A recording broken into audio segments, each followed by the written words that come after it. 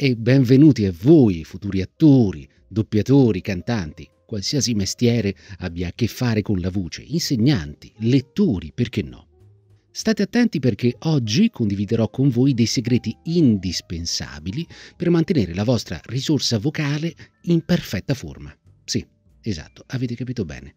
La voce è il nostro strumento, il nostro strumento di lavoro e dobbiamo trattarlo come farebbero i migliori professionisti.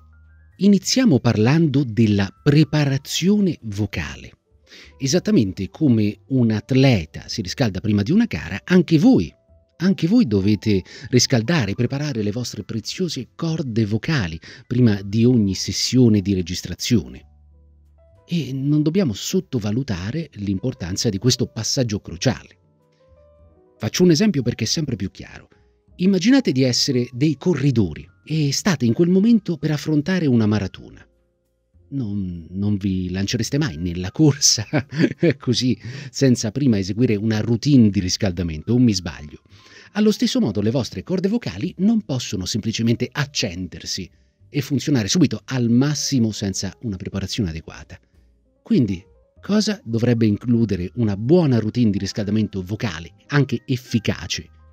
Entriamo nei dettagli.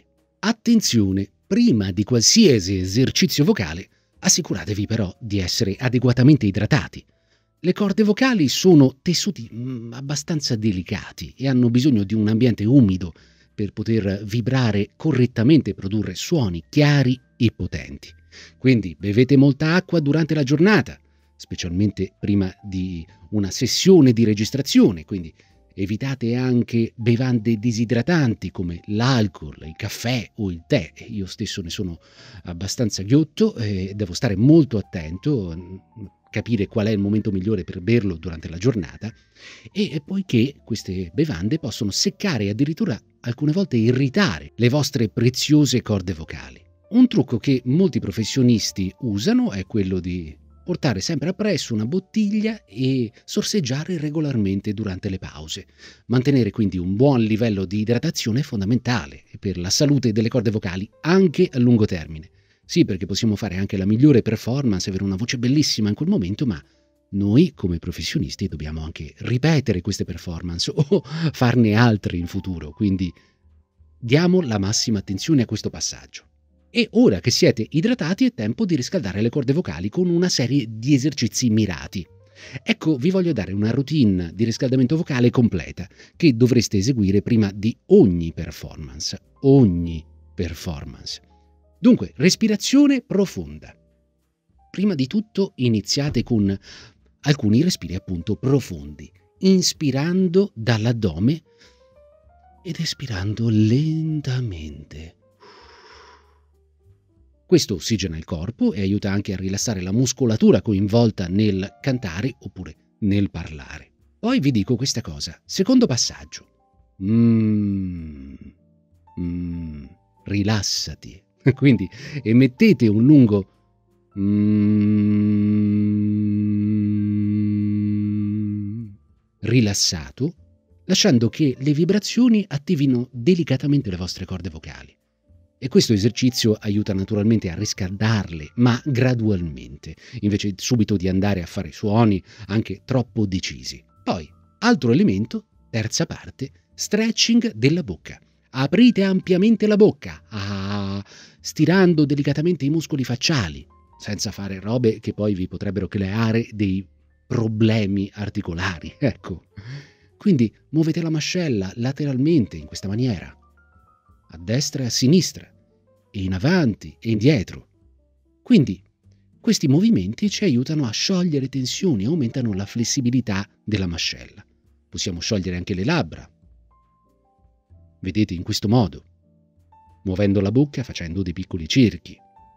E quarto elemento, quarto esercizio per riscaldare la nostra voce, quindi il nostro apparato, non solo la voce ma anche tutto l'apparato fonoarticolatorio, fate vibrare le labbra insieme, emettendo suoni come oppure non è un suono bellissimo, ma possiamo eseguirlo anche in questa maniera.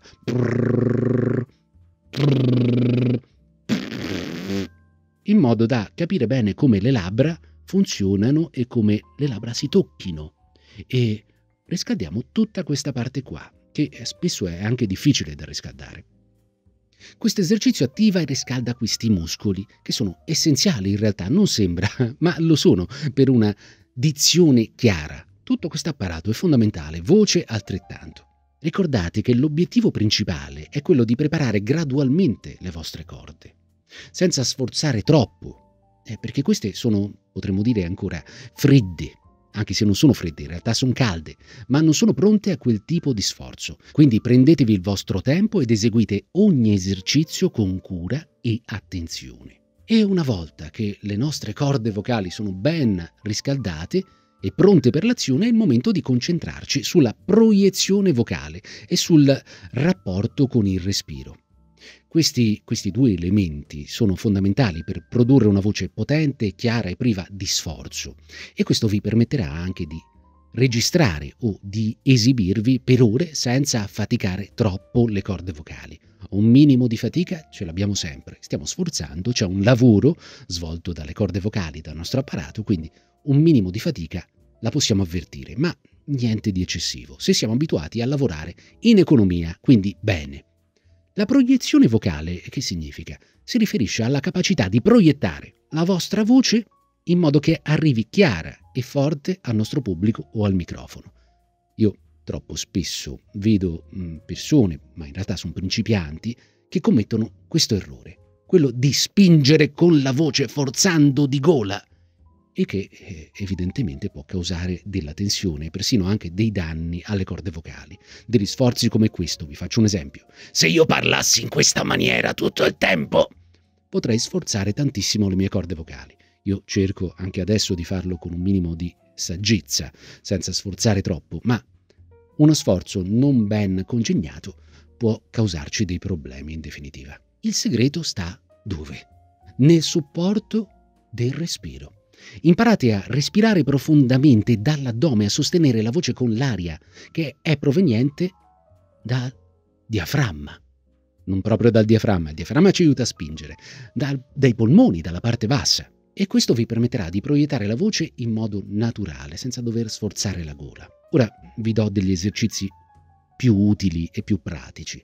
Un esercizio è quello di immaginare di soffiare una candela mentre parlate o cantate e questo vi aiuterà anche a concentrarvi sul flusso d'aria costante e a supportare la voce, che serve per supportare la voce dal diaframma invece che dalla gola. Quindi non posso soffiare in questo modo, parlando in questo modo, non esce l'aria, in qualche modo è deviata. Se io invece sostengo la voce, sento anche l'aria davanti a me che viene fuori in un certo modo. Inoltre, date massima attenzione alla risonanza risonanza dovremmo aprire un capitolo a parte. Vi bastino questi piccoli elementi per ora. Ci sono le cavità nasali, la bocca e persino il petto agiscono come amplificatori, diciamo così, naturali per la vostra voce. Imparate a sfruttare questa cavità di risonanza per produrre una voce più piena e ricca, senza sforzo eccessivo sulle corde vocali. Adesso ho cercato di sostenere un po' col diaframma e un po' sono andato di petto, ma giusto per farvi degli esempi che possono esservi utili. Questo magari lo vediamo più avanti. È un po' complesso questo discorso perché bisogna fare degli esempi molto più pratici e il nostro tempo a disposizione è veramente poco. Quello che posso dire in generale come consiglio finale è prenditi, e qui lo dico dandoti del tu, non del voi, prenditi cura della voce a lungo termine. Questo è un consiglio che avrei voluto mi fosse dato a suo tempo, perché eh, anche io con la voce ho cercato, anche quando ero più piccolo, più ragazzo, eh, quando ero un ragazzino, di fare delle cose, trovare posizioni con la voce per imitare altre voci e lì mi sono fatto male. Non in maniera definitiva, ma ho provato del fastidio, del dolore. Quindi, oltre al riscaldamento e alle tecniche vocali appropriate, è fondamentale adottare uno stile di vita sano, e qui la parte noiosa, per eh, mantenere la vostra voce in forma ottimale anche nel lungo periodo. Vi do alcuni consigli importanti che valgono sempre. E questa è la parte in cui faccio un po' il padre. Attenzione. Evitate il fumo. Il fumo è uno dei peggiori nemici delle corde vocali. può causare irritazione, secchezza, persino lesioni permanenti, ma questo lo sapete già. Se fumate è il momento per smettere e per avere una voce bella curata. Molti doppiatori, molte voci in generale fumano. Eh, sì, è vero, e molte voci sono belle, ci suonano bene perché fumano, ma questo non è un buon motivo per, eh, per fare dei danni al nostro apparato e non è detto che fumare per forza renda la nostra voce perfetta. Anzi, potremmo trovarci di fronte a patologie che vanno oltre eh, la nostra capacità di affrontare un determinato problema, diciamola così. Poi, gestite lo stress. Lo so, non è facile, lo stress eccessivo, l'ho già detto in altre puntate del podcast, porta a delle conseguenze, cioè appesantisce la voce e ci porta a tenderci.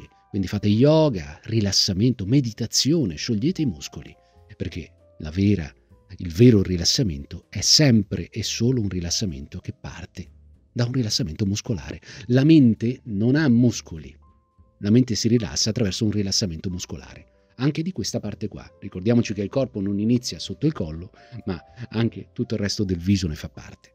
Altro argomento, altro consiglio che vi voglio dare è dormite a sufficienza.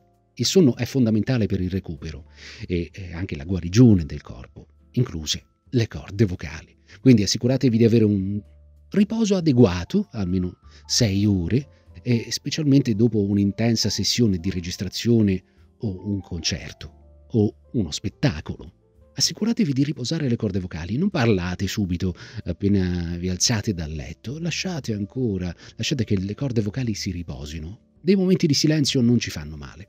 Poi, quarto consiglio, se avete dei problemi che ormai sono chiari, eh, avete sentito la voce velata in continuazione, consultate un medico e poi, se necessario, un logopedista che vi può dare dei consigli mirati e vi può aiutare anche a risolvere problemi che eh, vi trascinate a, a, anche da molto tempo. E in realtà il logopedista vi può indirizzare, vi può aiutare a risolverli anche permanentemente o vi può dare delle routine specifiche di lavoro in modo da sforzare meno le vostre corde vocali e la vostra voce. Poi potete considerare delle lezioni di canto di recitazione, queste sono sempre valide, trovate dei, dei, professionisti che vi aiutano. Io stesso insegno recitazione, non canto, dico la verità, ma insegno recitazione e quindi posso dirvi con certezza che una buona gestione del fiato e della voce arriva anche attraverso un percorso recitativo.